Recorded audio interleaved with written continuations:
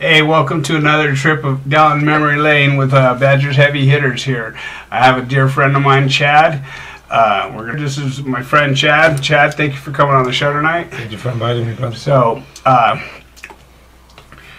so Chad's story. Let me just say this to those that are out there. You know, like we're a recovery station as well as you know. I, a lot of you guys are coming over from Fresh Out, and you know my story just happens to have lots of institution in it. Not everybody's story does. Sometimes it's homelessness, gang banging, uh, whatever the case may be. You know, human trafficking, being prostituted. You know, all the above. And I've been involved in just about every aspect of. I'd rather be real and rejected than fake and accepted. You know, that's how we pretty much run in our car, right? That's you know, we're family at. Uh, we're a family of understanding. Like we understand that we've all been down the same road, and you know, drugs were the solution in our case. You know, what I mean, because of our behaviors and whatnot. You know, drugs and alcohol. So, um, I believe the majority of Chad's story is alcohol. Am I right? Well, there's a lot of drug use. There's a lot of drug Uh, uh, right. Before my uh, first recovery, but then during my relapse, it, it, it evolved into strictly alcohol because I was afraid to kick heroin again. You know, I kicked heroin. I kicked heroin cold turkey. I had no idea what Subutex and Suboxone was, and when I kicked heroin, it was dead ass cold turkey. Nothing And- nice about it. no. Figured out where the majority of my trolls are coming from. You know, when I was in the county jail fighting my case, I caught a sodomy in there. And, you know, I had been down so long that I got it dropped down to tailgating, and I think they're still upset about it. As far as my viewers go, man, I love you. Nothing but love and respect to you. You know, I'm about a story. So basically, what we do is we give a little background as to where, how we grew up. You know what I mean? Were we involved in this, that, whatever your story may be? I can't tell it for you. So, uh, she was able to go backstage, and uh, she met a gentleman that was a tour manager for this band, and uh, they hit it off really well, and they made very good friends. He traveled her through the country a couple times to visit, you know, when they were out on tour. And it actually became that, you know, she came out here to visit him in California uh, one Christmas, and when she came home, she said, "We're moving to California." And I think I was five years old at the time, and it took about six months for all that to go down. I had to finish my school year, and uh, actually my semester, um, you know, second grade is when all this went down, and uh, I was so young. I had no idea what I was about to get myself into, where I was going. You know, this was all a very foreign thing to me. Uh, you know, come day of my last day of school, everybody knew I was moving to California. They had a birthday, or not a birthday party. They had a going away party for me at the school, and my great grandmother showed up, and my dad showed up, and there was a lot of tears involved, and that's where it kind of hit home that this was maybe not, you know, exactly what I knew it was going to be because there was sadness involved. Uh, you know, long story short, you know, I came to California in the the, the winter break of summer and uh, or winter and spring semester of second grade, and I moved into Woodland Hills, California, and that became my new home. You know, and I'm a, you know, I think five or six, approaching six or something like that at the time. I'm just a little country boy. You know what I mean? I had nothing about the fast life welcome to Uh, the jungle, huh? right? You know, immediately. You know, I made friends with my neighbor across the street, and you know, I grew up a really good kid. And you know, fast forwarding to to where all the goods are at and where they're involved. Uh, you know, I made a solid foundation in Woodland Hills, and I, you know, I had a very large group of friends. But you know, being that young, we don't have cars, we don't have you know ways to get around, and this and that. And I ended up moving into Chatsworth and I lost touch with all those friends. And once again, I'm having to build myself a new database of friends. You know, going to the middle new middle school that I'm going to now. And, you know, everybody was a good kid. I don't think in you know sixth, seventh grade, not too many kids are really making bad decisions at that point. Quite yet. Quite yet, it's on you know on the verge, on the brink of getting to that direction. And uh, you know, I graduated middle school with a 3.8 GPA, and something went haywire during that summer you know, I think I started smoking weed. I got introduced to weed for the first time, and uh, you know, something, something. I can't pinpoint it. I don't remember exactly what it was. And you know, my first time smoking weed, you know, because there's a lot of drug use and a lot of alcohol involved. You know, over the next, you know, damn near 20 years. So I really don't even remember my first time getting high. All right. And I ended up going to six high schools. You know what I mean? Before I could even graduate, what would be 11th grade. Um, I went to I went to my first high school, you know, Chatsworth High School, and I only had enough attendances for like not even half a semester by the end of the school year. I was ditching every day, you know, doing all that stuff, and I was just kicking it with the stoners. I wasn't even involved with, you know, So you bring in weed, and then all of a sudden your behaviors automatically change. automatically. So, you know what I mean, automatically. Good like- kid to poor attendance. To, Absolutely. So and this is where life starts to get real. Yeah, you know what I mean. This is where I'm starting to have to lie and, and manipulate, and you know I got really good at it really quick. All right. You know the lying and the thieving and the manipulation. You know I found a niche for it. Even to this day, I can you know manipulate somebody into doing something that they don't absolutely want to do. You know what I mean? I, I it, it's it's a curse, but you know at that time in my disease, it was definitely a skill set to have. For sure. But uh, you know, I was able to uh, really get involved, uh, uh, you know, with the stoner crowd, and you know, just smoking weed, not doing anything crazy yet.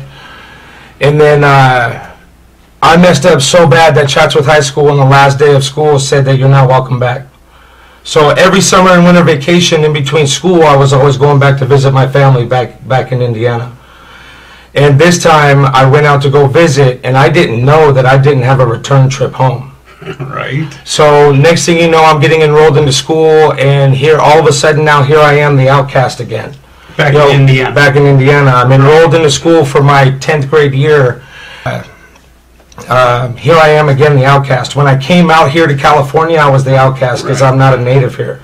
You know what I mean? I'm just a country boy. I had a very thick accent, you know, talking like this, and you know that's that was.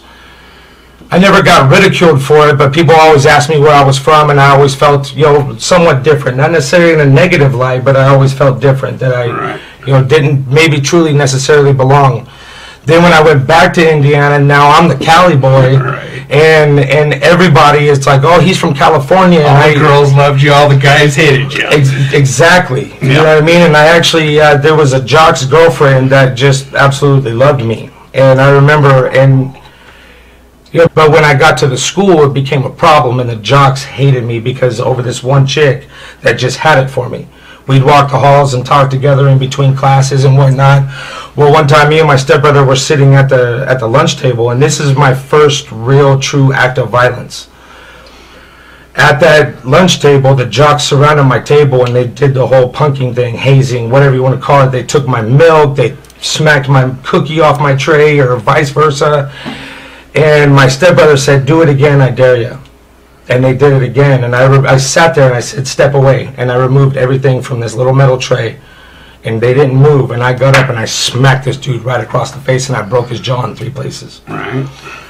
that was immediate term for being expelled and this is my first six weeks of school there So he was expelled, not you. You did the right thing, right? well i did the right thing in my moral code but you know i'm the one that got expelled Oh, no wonder I'm not doing so well in society. right so uh, um, i actually got kicked out of the, the school district there and if i wanted to go continue going to school i had to go into kentucky but i had no means of transportation to do that so i started working with my pop and things started to get really well i was welcome to come back on the next next school year but now because of my credits of ninth grade and now i'm missing all my credits from 10th grade i'm going to be walking into 11th grade with probably Right, not yeah. even half of ninth grade credits Right. so I'm falling really behind in school, and I just started working for my pop, and I'm actually very grateful that at least I started working for my pop because it taught me the work ethic that I have today. Right. You know what I mean? I am a very hardworking man today, and I always was, even through my disease. I worked all throughout my disease. You know what I mean? I mean, I was just loaded every day, but I still went to work and made money, and still had side hustle and this and that. But Had to. had to. Well, then I come back to visit my mom, and I had a return ticket to go back to Indiana, but it was my stepdad's 50th birthday party that summer, and my dad didn't even want me to come because he knew I wasn't going to go back home. I came, my dad got very mad at me. This is actually where I was disconnected from my, from my pop for probably about a decade. And that one kind of stung because I was always really close with my pop. You know what I mean? I loved my pop. I missed my pop because I was never with him in Indiana. And the times that we did get to spend, you know, he'd take me to St. Louis. Every summer he took me to St. Louis. We went to Six Flags, went to opening day of the Cardinals. And my dad was very, very present in my life. And, you know, if you happen to see this pop, just know that I love you with all my heart and uh, we do still have we have a connection today. Once again, something went haywire there. I got I went to you know I came back here. I went to Cleveland, got kicked out for selling drugs, and then I went to Granada, got kicked out for throwing a book at a teacher because she told me to shut up. And then I went to uh, Stony Point. Then I went to West Granada, and then finally they were just like, "Dude, you're done." When I threw the book at the teacher, they kicked me out of the, the school, school, district, district again. Yeah but I was able to go to two continue. I, I, had a chance to go to continuation school. I got kicked out of one. They said that you can go to this one, but this is your last straw. You get kicked out of here, you're done completely. And I ended up getting kicked out of that second one. So off. So then, you know, I went back to work ethic, and uh, you know, there was a chain of events that happened to where on Y2K, my house got robbed by all my middle school and high school buddies from California. I was able to have a little party at my house, and uh, these kids, they there was still Christmas presents underneath the tree. We hadn't even put them all away yet. And like these dudes robbed a safe out of my mom's, my mom and stepdad's bedroom. They took posters off my wall. They took my brand new clothes I just got. The you were there.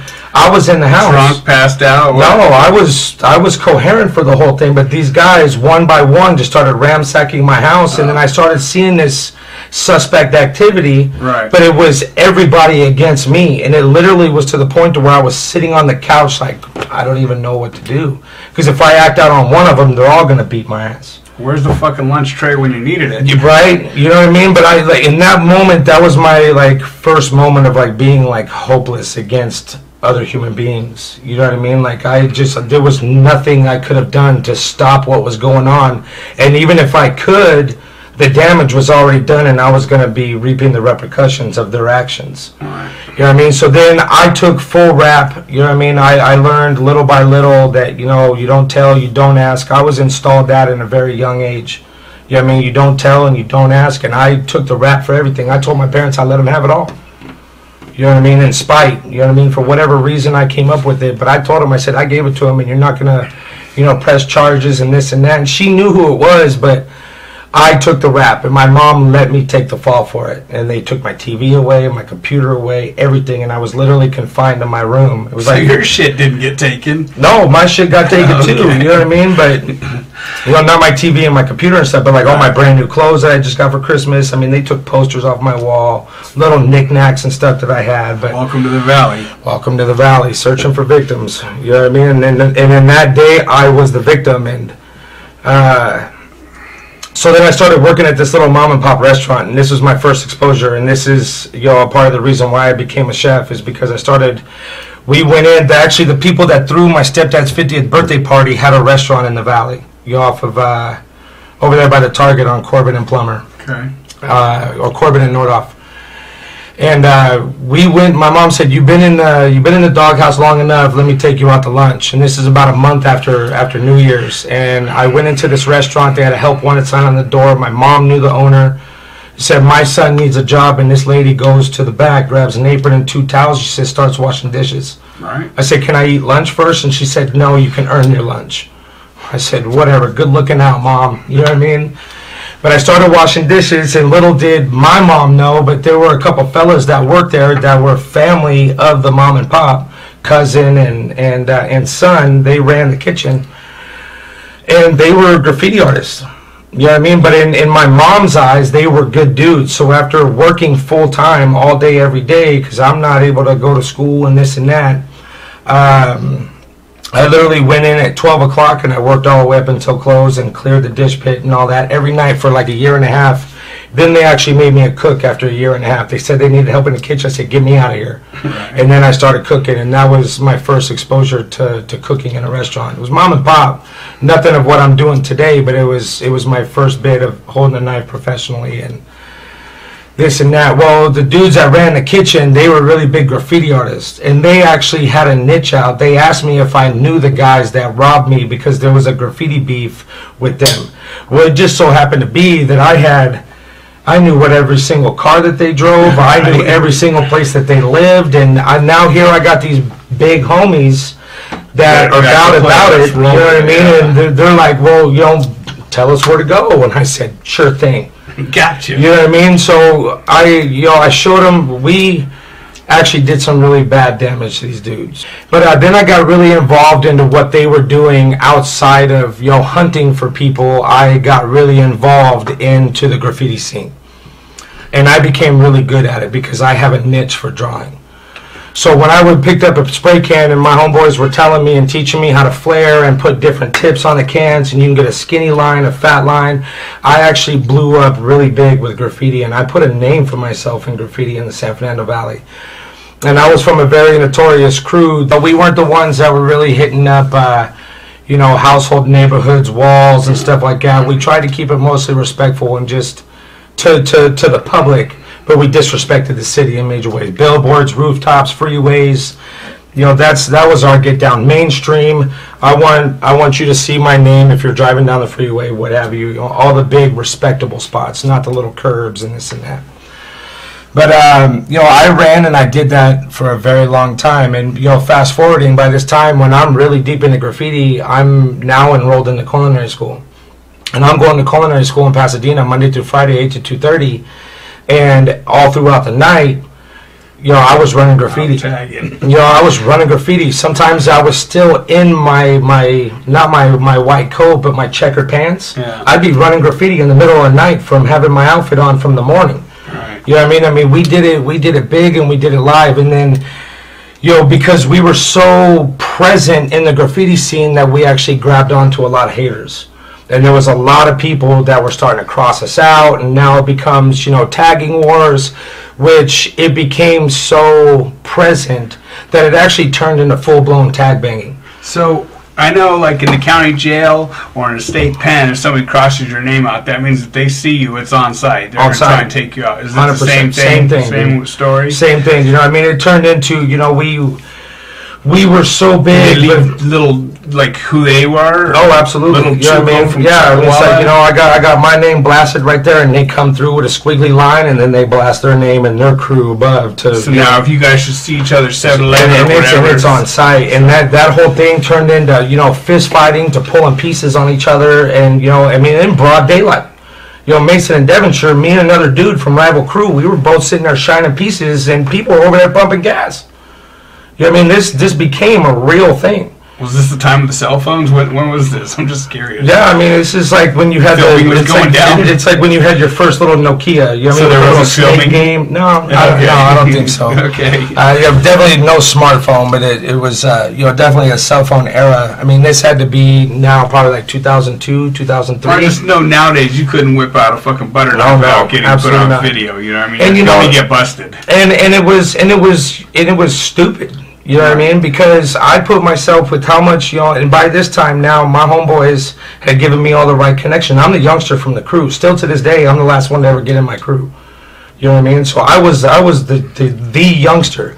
So I Also got known as the books are closed. yeah, and uh, I was the youngster, and it, you know a lot of a lot of the work got put on my shoulders. So I was the one running the gun or running the drugs. You know, eventually you ended up running running some guns, and you know it was it was a very active time for me in my life. And you know, and mind you, I'm trying to go to culinary school. I'm I'm now officially into tag banging and running with guns and drugs and and it got real heavy and there was a time where cops were passing by my house you know rival rival taggers were driving past my house because i knew what kind of car they drove and they'd be creeping by in the middle of the night things got really really scary for a minute So when You know they're mean? coming by to do what? Tag at your house or to get busy with no you? it was probably it was, Shoot- it was shootings. What? it was probably more the tail end of what you were saying Right, right. you know what i mean uh, So how did the cops get involved to know your name? As far as graffiti goes, it was never it was never a thing. But there was a couple times where I've done a you know I just Just did a like drug that, deal or whatever, or yeah, you know what I 'cause mean, they were and, getting and I told would on. get pulled over or you know I don't think I ever really got told on because they never came at me with heavy ammunition about what I was doing. They just knew I was up to no good. Right, right, right. You know what I mean? Wrong place, wrong time. Sure. And uh, you know, sp- suspect behavior. Right. You know what I mean? And my car would get tossed up all the time, but you know, my homeboys from my crew taught me how to be a really good criminal, and this is why that today I never saw a day in prison. I mean, I've been in and out of the county jail, but I've never caught a heavy enough beef to be sent off to prison. All of my charges have been driving related. You know, driving on a suspended license, DUI, second guy, DUI, third DUI. But tho- those, that's the extent of my on the books criminal career. But if they knew the truth, I'd probably be sitting, you know, I'd probably be sitting somewhere for a long time. You know what I mean? Licking shots in the streets and doing this. I mean, I, I've done it all. I ran graffiti, guns, and drugs. And anything that you can wrap your head around that is involved in that life, I've probably done it. And that's not to showboat or nothing. That's just a fact. Right. You know what I mean? I've, I've done it all. And, um, and then I think my saving grace was uh, the day I finished culinary school. My parents actually sold the house. They had a movie. I left to go to culinary school. My last day, I left in the morning from my house in Chatsworth, and then I went home to my house in Newbury Park. It was a lot more mellow out there. You know what I mean? But I saw another very. Uh, I saw a great thing about coming from a hustler mentality. I saw a great thing about Thousand Oaks Westlake. Victims.